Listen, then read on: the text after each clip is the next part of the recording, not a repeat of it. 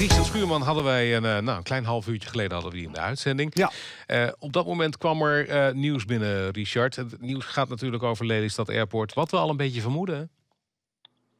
Ja, het wordt weer uitgesteld. En uh, voor de derde keer. de Lelystad Airport gaat niet open in 2020. Maar dat wordt op zijn vroegst november 2021. Ja. Dat heeft minister Cora van Nieuwenhuizen vandaag in een brief aan de Tweede Kamer geschreven.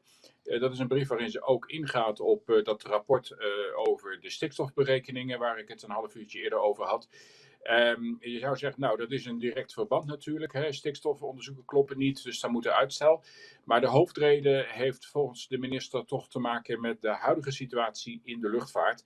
ja, de luchtvaart ligt letterlijk op zijn gat of staat aan de grond.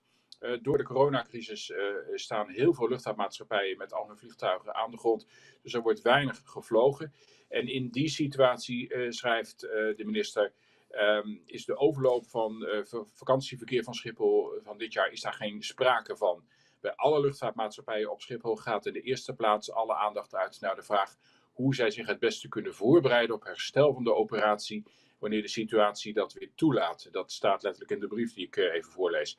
Dus dat betekent uitstel van Lelystad Airport tot november 2021. Ja, ja Lelystad Airport moet natuurlijk vakantieverkeer overnemen. Dat is er natuurlijk helemaal ja, niet. Nee, dat gaat ook dat is er niet. Nee. even niet gebeuren. Maar, oorspronkelijk had het uh, uh, morgen moeten opengaan, althans oorspronkelijk. Ja. Oorspronkelijk hadden we het in 2019. Dat werd uitgesteld naar uh, april 2020. dat werd uitgesteld naar een datum ergens in 2020.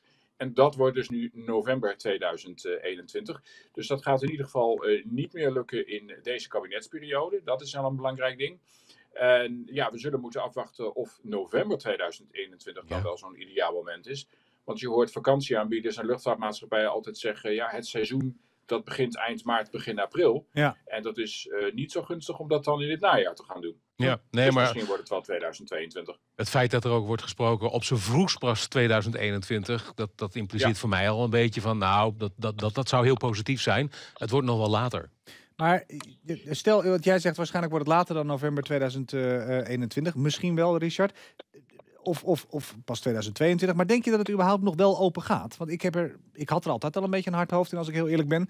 Maar dit, dit, dit soort berichten, dat stemmen wij natuurlijk uh, niet ja, positief. Het wordt echt wel moeilijk hoor. Want we weten niet waar de luchtvaart uh, op uh, of afkoerst of op terugkeert naar ja, welk precies. niveau als de coronacrisis uh, voorbij is. Mm -hmm. En bijvoorbeeld twee weken geleden de topman van Lufthansa, Carsten Spoor, die zei na de coronacrisis zullen wij echt te maken hebben met een veel kleinere luchtvaart.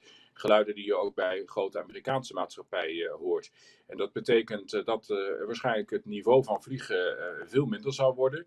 Dat misschien mensen meer en dichter bij huis op vakantie zullen gaan. Uh, dat zakenluchtvaart af gaat nemen. Ja, en dat bij elkaar betekent dat Schiphol natuurlijk zijn, uh, enorm weer terugvalt.